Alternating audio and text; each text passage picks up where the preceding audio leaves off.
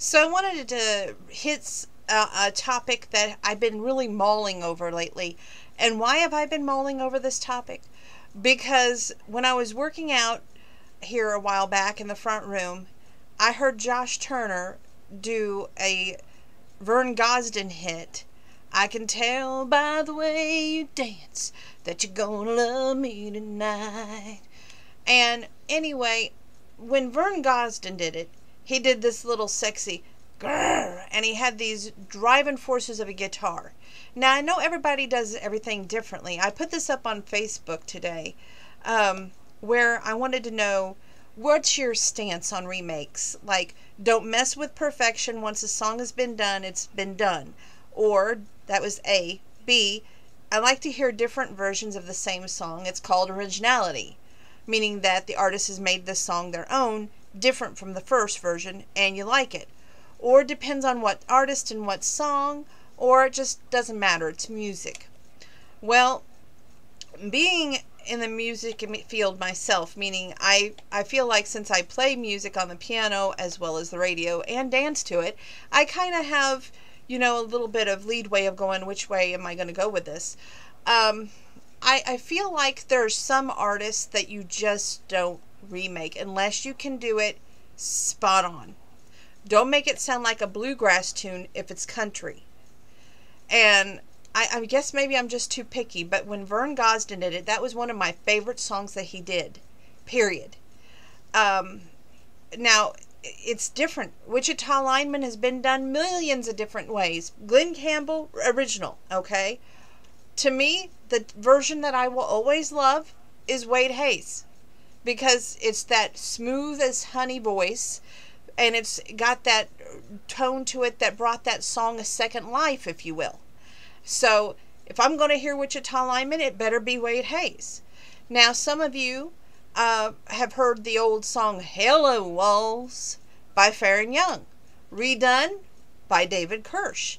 And I love both versions there. I love Faron's version, but I also love David's version because it's more upbeat and you can dance to it a little faster than when Faron sang it. And to me, I don't know why, but that ver- both versions stand on their own. And they're to- two totally different versions that I both like. But in the case of Vern Gosdin or Josh Turner, I was very disappointed because I thought, okay, he's going to have a little bit more rocking guitar. He's going to have that little gur in his voice like Vern did he's got a little bit of that gur, but it's not exactly spot on. And it's just like a, a Conway Twitty song. If it was to be redone, j- there's only a couple of people that could redo, um, three people that could redo Conway and do it right. One would be Jeff Bates. Right off the bat, I've got to give props to Jeff Bates. The second would be Chris Young. And the third, and definitely not the final, would be Scotty McCreery. And Conway had that deep voice, that voice that just grabbed you. And I didn't appreciate that until later on in life. And let me tell you something.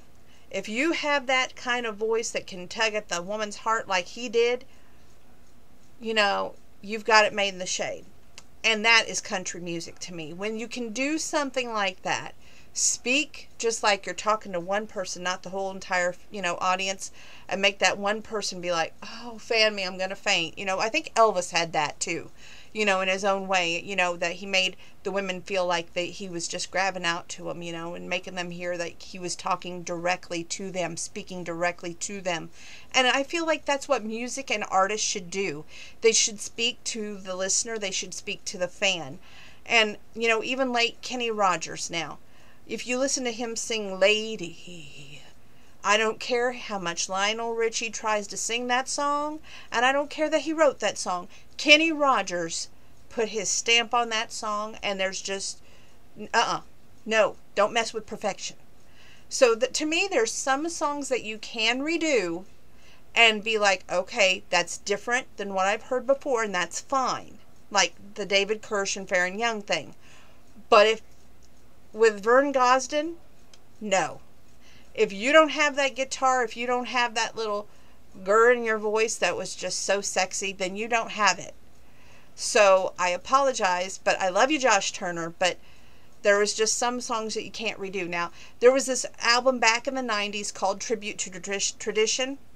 Late Joe Diffie, and I can't get used to saying that, he did the late Charlie Rich song, No one knows what goes on behind closed doors.